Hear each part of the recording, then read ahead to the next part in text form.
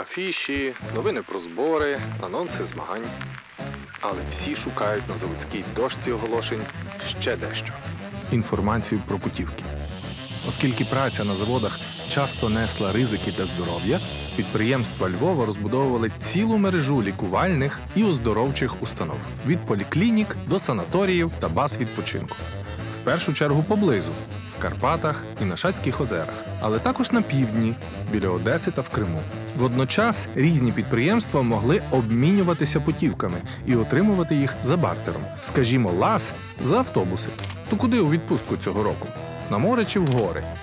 Дітей з собою чи в табір у Брюховичах? Стоять ліси в смарагдовій задумі, гудуть вітри на висях гір, співає море в білім шумі, і світять бризки синіх зір, і молоком пливуть у вирій хмари, сміються ранки голубі, поля пастужене отари, і сонце грає на трубі. Всі голоси і бурні, і спокійні, глибоких надр і височин, віллються в душу гармонійно, потоком вражень і хвилин.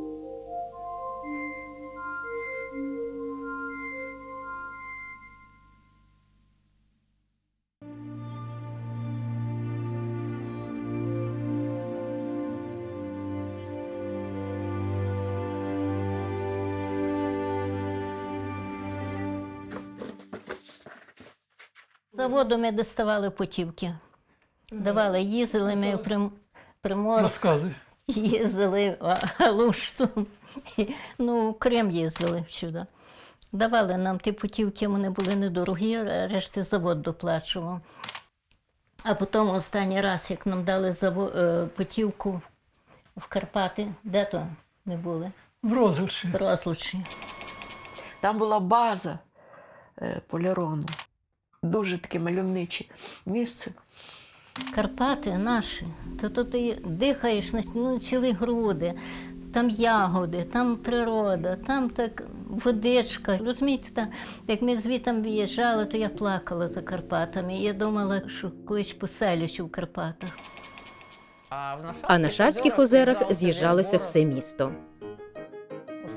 Влаштовували там змагання від перетягування канату до чогось ще такого. В Комарівці там була класна база, будівля красива. І також влаштовували змагання. Теж там брала участь. Отримала грамоту за перше місце зі збирання грибів. Навіть такі були. Ми ще побудували лікувальний санаторій в Східниці, Едельвейс. Всі процедури, які в той час, то озокерит, той е, гідродуш, восходящий душ, сауна з басейном, е, з тим всім. Крім того всього, ми ще оформили два джерела. То дуже сильна вода була, так що нержавійка чорніла. От ти як не брав без поїлки, то в принципі через тих 24 дні ти вже додому приїжджав без зубів.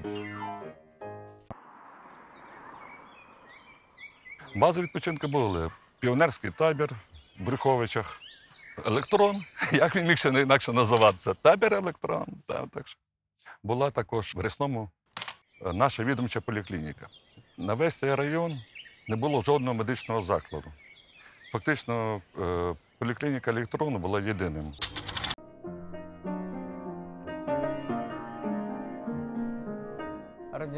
Народилася в мене друга донька, і треба було в садок. В садок було складнувато, як всюди, напевно. Ну і тут своїх знайомих зустріла. Вони кажуть: ой, у нас такий класний садок тут на мікроприладі в твоєму районі. Кажу, ну не знаю. Пішла до директора, прийняв мене і дитину відразу теж. Так що я була справді задоволена цим садком. Садок унікальний був. По-перше, там були хороші лікарі. Обслуговували це раз. По-друге, старався наш директор, щоб було і перевіряли багато разів, щоб їжа там була, щоб усе було свіже. Це два. І по-третє, ось казали як. Якщо дитина захворіла, так Ну, ось температура. Я могла її туди привезти, сказати, що дитина хвора, і вона там перебувала під наглядом лікаря. А це дуже добре. В садочку діти дуже хворіли. Я не знаю, як зараз може більше пільнують дітей. Ну я просила в садочку. Говорю, не виводіть зимою його на двір, на, на прогульку, тому що він захворіє. Ну, і я до пів першої робила. Після того біжу вже забирати дитину. Е, В групі відкрите вікно на ствір, двері відкриті. Мій Олег е, на підлозі сидить і там машинки возить. Дітей нема, пішли на прогулку. Я кажу, слухайте, я налякалася. Я кажу, як ви можете так зробити? А нам треба групу провірити. А ви сказали дитину не виводити. Я кажу, то ви напроти його, його залишили в хаті. Ну, звичайно, що дитина ще більше пересудилася, ніж на дворі.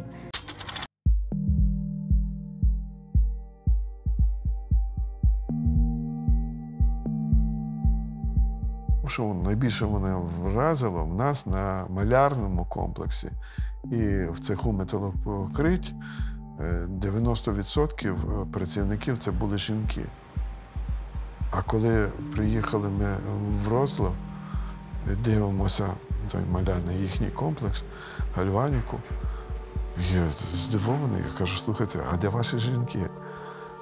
А в нас жінки в такому виробництві не працюють. Законом заборонено.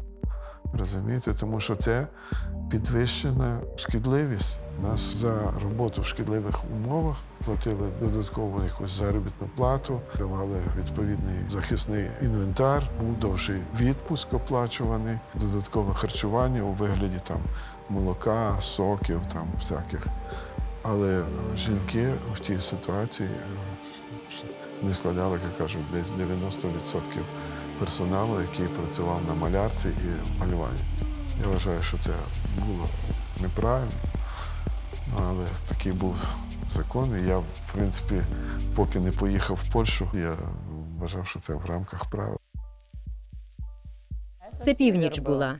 І я просто не можу пригадати, як це вийшло, що там стояло 10 Ту-104. І всі одночасно вони прокручували так, а мені треба було залізти нагору і перевірити все. Як включили всі ці свої пропелери, ну я не звертала уваги. А потім, через якийсь час, я зрозуміла, що оглухнула на одне вухо. Мені треба було якимось затичками закривати, але щось до мене не дійшло. Це було так для здоров'я недобре, але це просто з моєї неграмотності, а не хтось там винен. Я взагалі на заводі проробила е, 16 років. То я стала в п'ятий цех, там вже прибори е, Вже перевіряли, яку ставили під є. Ви пробували. шість по 6 годин працювали. Дуже шкідлива робота була. Там висока напруга і йде рентген з тілопроміння. На поліроні я якось не переймалася тим питанням, що викиди тоді, тоді молодою дівчиною я тим не переймалася. Були чутки, що на заводі ну, виробництво не, не є таке е, екологічно чисте. Порівняно з 40-м роком, станом на 70, який це був рік, на 75-й, обсяг промислового виробництва на Львівщині зріс в 41 раз. 41 раз. А в зв'язку з тим, що ми були центром приладобудування, машинобудування і машинообробки на два порядки. Сумніву, що при такому об'ємі мусило бути, кудись воно ж мусило діватися. В першу чергу найбільшими забрудниками довкілля були ті заводи, які мали ливарне виробництво. А в нас до них зараховується ну, найбільший, ясна річ, автонавантажувач, значить, автобусний, е, конвеєр, сільмаш і автонавантажувач. Чотири заводи в нас були продуцентами серйозними. На автобусному заводі ми зрозуміли, що багато органічних викидів від розчинників, коли сушиться е, фарбове покриття, е, викидується просто в атмосферу. І ми е, оці викиди вже почали від кожної камери збирати і транспортувати їх по відповідних повітропроводах в зону, де встановили таку піч по допалюванню. Ну, Паралельно з тим ми запустили в роботу дільницю по переробці відходів фарби. Я найбільше був вражений тим, що коли я попав, потрапив на посаду е, технічного директора заводу автонавантажувача, вже, ну, вже дещо пізніше, я зрозумів, що там ця робота практично не велась. На 91 рік, коли Союз почав сипатися, ми входили в перелік міст, де викиди від промислових підприємств, взагалі від так званих стаціонарних джерел забруднення, вони становили більше 50%. Ну, але буквально через років 8-10 це вже абсолютно була інша картина, коли почався процес закривання підприємств. Ми не мали аж таких підприємств, які б настільки створювали проблему для довкілля. Хоча не виключаєш, ці проблеми були. Власне, я думаю, і е, до сьогодні, напевно, дуже важливо думати теж про місто е, як е, продуктивну одиницю, не тільки як сферу послуг чи інтелектуальну працю, але також більш збалансований її розвиток і таке повернення власне виробництва, хоча вже не такого екологічно шкідливого і не такого масштабного, але все-таки повернення виробництва до міста це щось таке, про що важливо думати на майбутнє.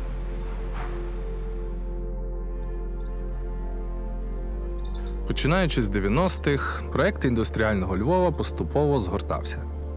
Деякі заводи зупинились, деякі зовсім зникли, а на їхньому місці з'явилось щось нове. Поодинокі індустріальні простори переживають ревіталізацію. Вони використовуються, але вже за іншим призначенням. А деяким виробництвам вдалося модернізуватися і опанувати нові технології. І хоча зараз мало хто назве Львів індустріальним, промисловість вплинула на місто приїздом нових мешканців, будівництвом житлових районів, розбудовою інфраструктури, великими цілями та незавершеними проектами, досягненнями і втратами. І зрештою, історіями людей індустрії, які можна почути майже в кожній родині.